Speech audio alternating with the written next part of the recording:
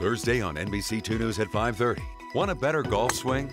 A simple magnet may be your answer. I put it on on Saturday afternoon and Sunday. Monday I had no pain. Then, all new at 6. Blueberry flavored crunchlets. That doesn't sound very natural. The consumer investigation food manufacturers don't want you to see. Terrible. I thought we had laws against that. Fake fruit. Where's the blueberry crunchlet bush here? Uh, there's none on this farm. Thursday on NBC2 News.